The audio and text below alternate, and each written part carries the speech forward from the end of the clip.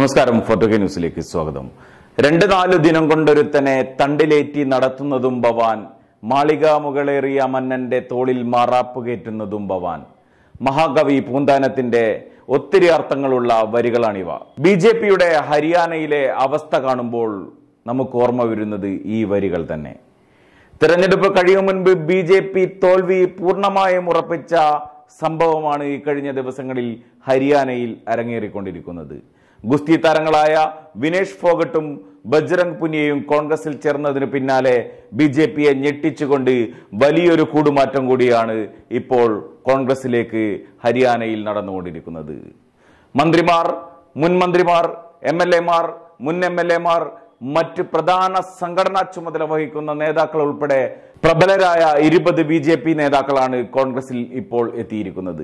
വൈദ്യുതി ജയിൽ വകുപ്പ് മന്ത്രി രഞ്ജിത് സിംഗ് ചൌട്ടാല മുൻ മന്ത്രിയും ഒ ബി സി മോർച്ച നേതാവുമായ കരൺദീപ് കബോജ് മുൻ മന്ത്രിമാരായ Sachin Singh Arya Bhishma Peer Balmiki Ratia M L A Laxman Nappa Yuva Morcha സംസ്ഥാന എക്സിക്യൂട്ടീവ് അംഗവും സോഷ്യൽ മീഡിയ കോർഡിനേറ്ററുമായ അമിത് ജയ്കെ കിസാൻ മോർച്ച ഉപാധ്യക്ഷൻ സുഖ്വീന്ദർ മാണ്ഡി മഹിളാ മോർച്ച ജില്ലാ അധ്യക്ഷ ആശു ഷേരു തുടങ്ങിയ നിരവധി നേതാക്കൾ തുടങ്ങി സംസ്ഥാനത്തെ പ്രബലരിൽ പ്രബലരാണ് ഇപ്പോൾ ബി ജെ പി വിട്ട് പുറത്തു വന്നിരിക്കുന്നത്.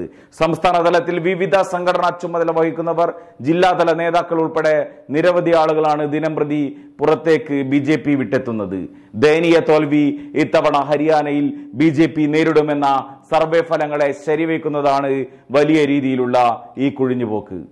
അഞ്ച് ലോക്സഭാ സീറ്റുകൾ നേടി ഇത്തവണ വലിയ തിരിച്ചുവരവ് പാർലമെന്റ് തിരഞ്ഞെടുപ്പിൽ ഹരിയാനയിൽ നടത്തിയ കോൺഗ്രസിന്റെ ഗ്രാഫ് മേലേക്ക് തന്നെ കുതിച്ചുയരുകയാണ് എന്നതിന്റെ ഉത്തമ ഉദാഹരണമാണ് ഈ സംഭവ വികാസങ്ങൾ. വലിയ പ്രതിസന്ധിയാണ് ബി ജെ പി ഇവിടെ നേരിടുന്നത്. കാരണം അത്രത്തോളം ശക്തരായ സ്വാധീനമുള്ള നേതാക്കളാണ് പാർട്ടി വിടുന്നത്. യുവ നേതാക്കളും ഇതിൽ ധാരാളം ഉണ്ട് എന്നതാണ് ബി ജെ പി അവിടെ നേരിടുന്ന പ്രതിസന്ധിയുടെ ആക്കം കൂട്ടുന്നത്. രാഹുൽ ഗാന്ധിയുടെ പ്രവർത്തനങ്ങളുടെ ഫലം കൂടിയാണ് ബി ഈ പതനവും കോൺഗ്രസിന്റെ ശക്തമായ തിരിച്ചുവരവും എന്നതിൽ സംശയം വേണ്ട.